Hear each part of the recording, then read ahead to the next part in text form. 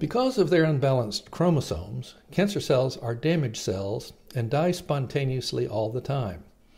Most of the cancer cells that don't die on their own are easily killed the first time they are exposed to chemotherapy and radiation.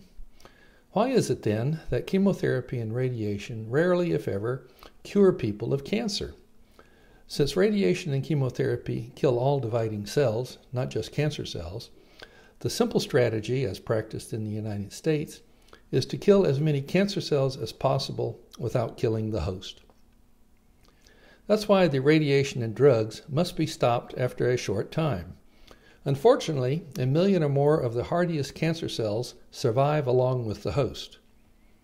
As most of us know all too well, those treated with radiation and chemotherapy suffer debilitating diarrhea, hair loss, and nerve damage, among other unpleasantness.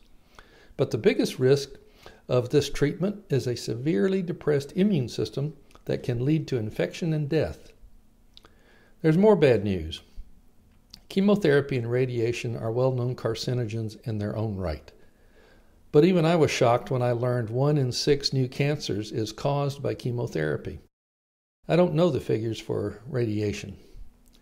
On top of all that, there's the inevitable problem of drug resistance. Unlike cancer cells, chromosomally stable normal cells do not become resistant to radiation and chemotherapy. Cancer cells are so chromosomally unstable that no two are, are identical. Among a tumor's billions of cancer cells, there is a range of sensitivities to, the, to all the drugs and radiation, from the most sensitive to the most resistant. As with everything else about cancer, resistance to chemotherapy has little or nothing to do with gene mutations. The high rates at which cancer cells acquire drug resistance are similar to the, rate, the rates at which their unbalanced chromosomes change, which is about 10 million times faster than gene mutations.